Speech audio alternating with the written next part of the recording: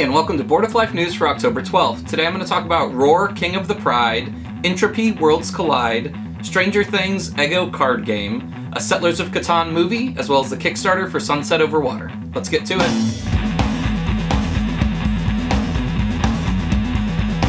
Hey, I'm Chris. Welcome to Board With Life News.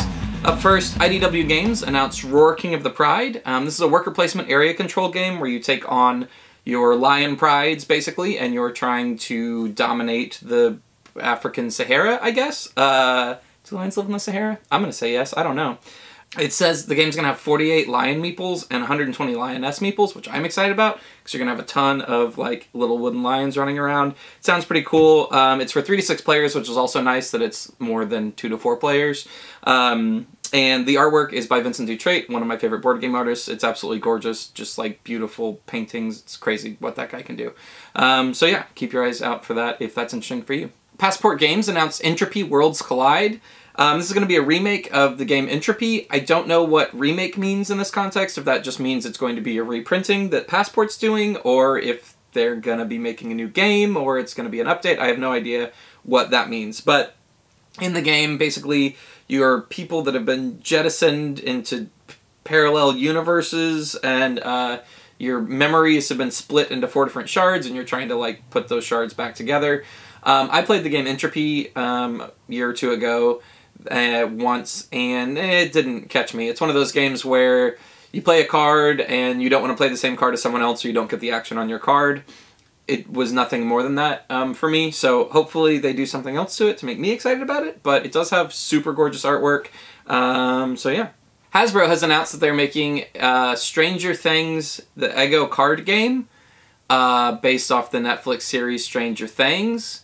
So I, why do why do we even why do why does anyone have to try if Hasbro gets to just make this? Um, it sounds a lot like the description sounds a lot like Uno, but you're using Eggo waffle cards. Because uh, that was a thing that was sort of tangential in Stranger Things. It's so stupid. Like the frustration comes because like Stranger Things is arguably maybe like the best property to be adapted into a board game. Like it's so rich, it's so cool. It's got really awesome, interesting characters, and even side characters are super interesting and well thought out. There's so much you can do. It plays on a lot of kind of like 80s D&D board game stuff.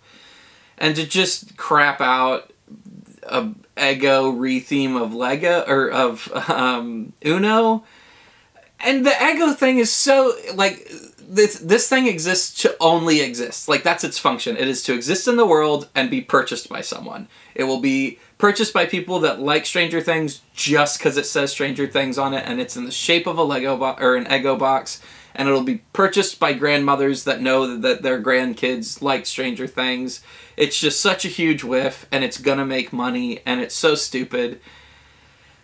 So yeah, enjoy the Eggo. You guys were clamoring. I know people were just clamoring to make most of the game not actually based around Eggos, but just look like Eggos for no reason.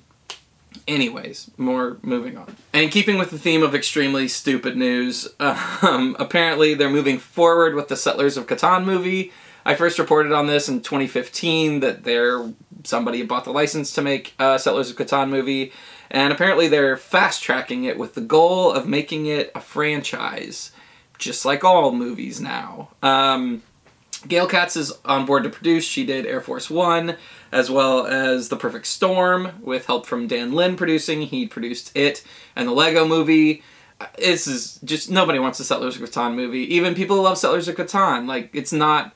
It's a boring theme for a thing. Um, and we live in a world where they haven't been able to make a even a halfway decent D&D movie yet. Like how does that happen? That like you can't make a thing that has like infinite rich stories in a world where Game of Thrones exists. You can't do that, yet somehow anyone is spending any effort trying to figure out how to crap out a Settlers of Catan movie.